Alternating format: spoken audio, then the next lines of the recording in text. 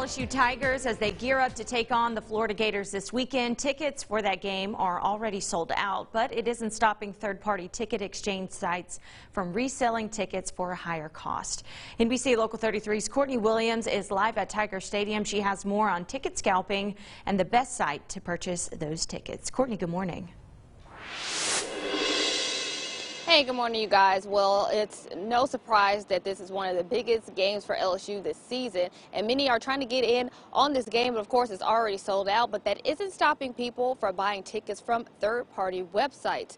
Now, places like StubHub, Ticketmaster, or SeatGeek are just some of the sites reselling tickets that have already been sold from LSU. And those tickets are ranging from $100 to more than 1000 depending on where you want to sit.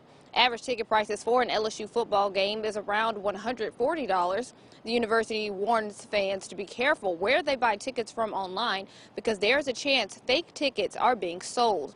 When talking with LSU fans around the capital city, they gave me a price on what they would pay to see the talked about showdown. This game, I pay from 50 to $75. I'd pay up to 500 probably. But other than that, no. It's my team. I like it, and if, if I plan to go, I, I don't mind to pay $100 or 100 some for, for go see the game. I spoke with a representative from the LSU ticketing office, and they say StubHub is the most reliable site to buy tickets from because LSU actually partners with that company. So to find more information on where you can buy tickets, you can download our free BRProud app, or you can head to our website at brproud.com.